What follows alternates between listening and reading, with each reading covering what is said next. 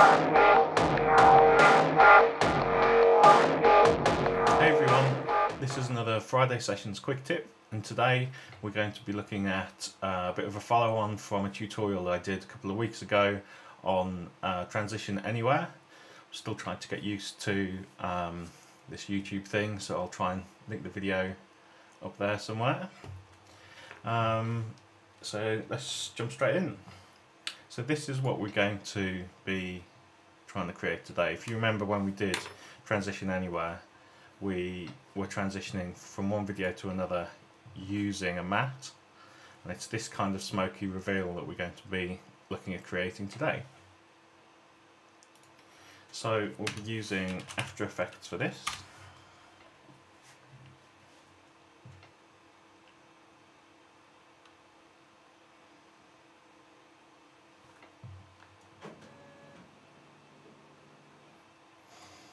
I'm going to create a new composition.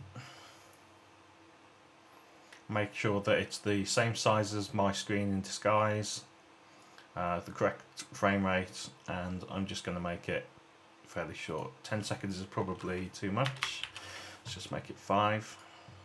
Here we go. So we're going to create a new solid and make sure that it's white. And then grab the pen tool and just create a shape off screen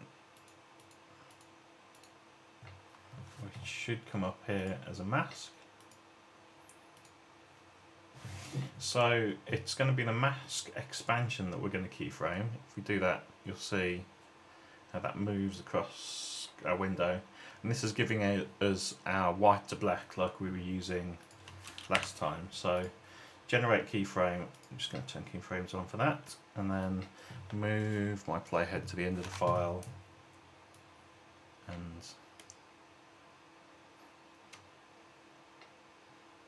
there we go, that should do. As you can see, if we go in the middle, it's not quite the effect that we were looking for but at least we can see that it's expanding properly over the course of five seconds. The, the way to generate the complexity to the edge of the mask is uh, by using effect, uh, turbulent displace. So I bring that and apply that one.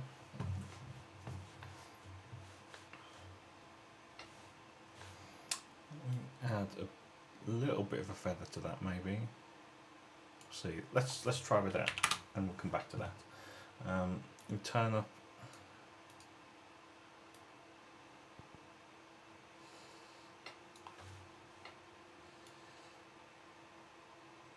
go. So it's a combination of using the feather mask and uh, the uh, turbulent displace amounts. And then the size will, so if you go um, really low on the size, you just end up with like a soft edge. If we sort of set that in the middle somewhere, that's pretty good. And then displacement amount can give you, um, it like changes the hardness of the mask, which depending on what you want could, um, could give you kind of an interesting different effect. But somewhere around there, so let's make that like 160. And we just play this again from the start of the video.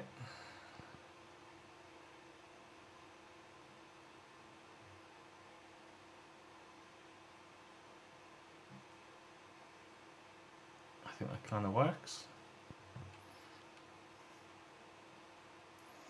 The one thing I'm not quite happy with is just right here on the right hand edge we're seeing we're starting that's going to snap on when we use that in disguise so uh, if I just grab my mask and we should be able to move this back a little bit and then let's just check that it still fills the frame when we it doesn't quite fill now. We've still got some dark areas there so we can just increase the mask expansion for this keyframe. Perfect. Okay. So now we're going to render out. Use a preset that I've previously set up for uh, Notch LC. And just throw this on the desktop.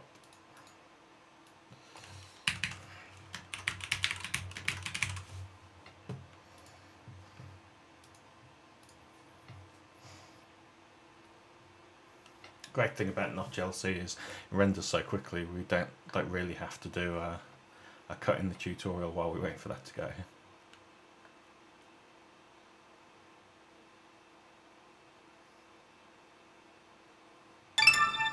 Excellent. So let's grab the file on the desktop and put that into my disguise project folder video file here's some of the masks that we created in our um, last tutorial. I'll pop back in. So as you might remember, our um, mask files are on a different timeline. This is the one that I used to demo right at the start of the tutorial. So we'll just replace that. And we'll use the one that we just created, which I've called tutorial mask uh, reset the speeds and check that. I think that should work pretty well. I'm just going to rename the note at the bottom here so that when we set this up it gives it the right name.